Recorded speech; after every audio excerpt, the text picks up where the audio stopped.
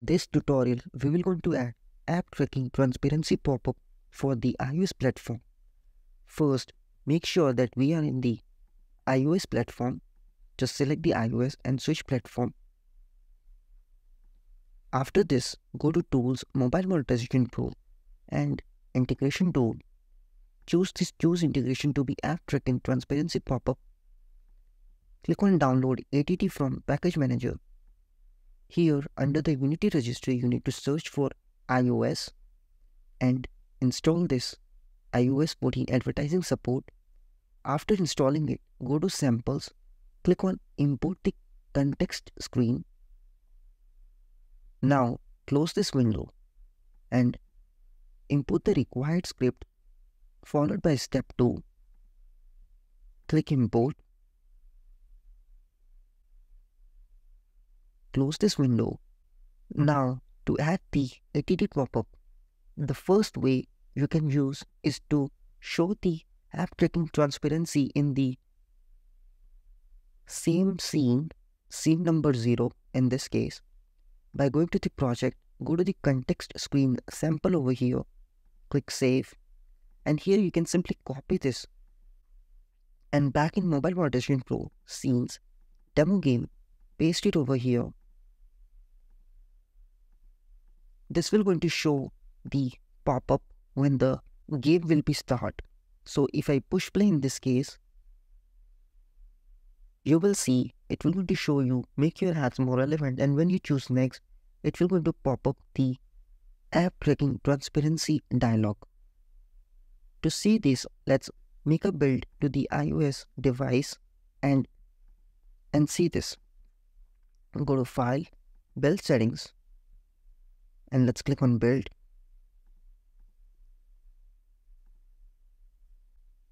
Once you successfully build the project, open this Unity iPhone XC workspace file, connect your iPhone and choose it over here. Go to Unity iPhone, choose the app category to be games, and then push the play to install the game in your iOS device game we can clearly see that allow size shift to track your activity across other companies' apps and websites. If I choose allow and restart the game, I am not going to see the ATT pop-up again. Great.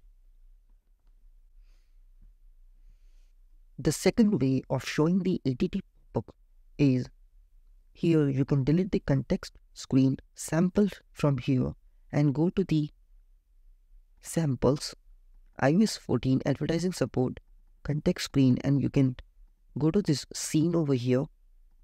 And here in the context screen sample, you can go to Mobile Monetization Pro Tools, ATT Screen Manager and drag and drop this Mobile Monetization Pro ATT Screen Manager script over here.